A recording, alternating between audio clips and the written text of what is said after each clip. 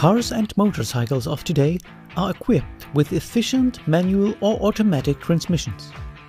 Often, transmission refers to a gearbox that uses gears to provide speed and torque conversions between input and output.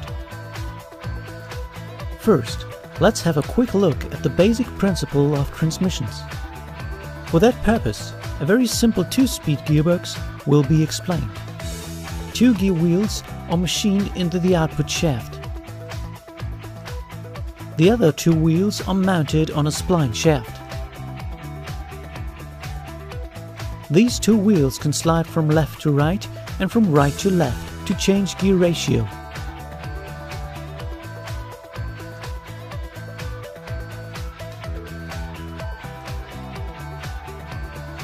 In this example, the engine generates a rotational speed for the input shaft of 2000 rotations per minute.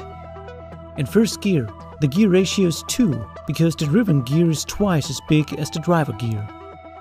Consequently, the input speed of 2000 rotations per minute is decreased to an output speed of 1000 rotations per minute. Shifting from first to second gear in this transmission is only possible when the engine stops. Then, shifting of gears is possible. In second gear, the input speed is increased because the gear ratio is 0.5. Because gear shifting is complicated for these kinds of transmissions, synchronized manual transmissions were developed that allow to easily select and deselect the gear, even when the vehicle moves. In modern cars, 5-speed or 6-speed transmissions are usually used. Here, however, a very simple explanation is given with the help of a 4-speed transmission. The input shaft is connected to the engine. The rotational energy of the input shaft is transferred to the counter shaft that transfers its energy to the gears of the output shaft. The output shaft is connected to the wheels of the vehicle.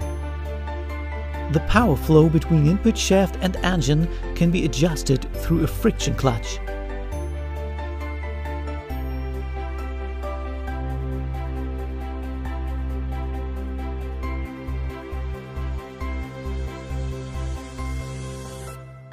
The gear wheels of the input shaft and the counter shaft are fixed to their shafts. They rotate when their corresponding shaft rotates. However, the gear wheels of the output shaft are not fixed to the shaft and can freely rotate. Locking a gear wheel to the output shaft is possible through a dog clutch.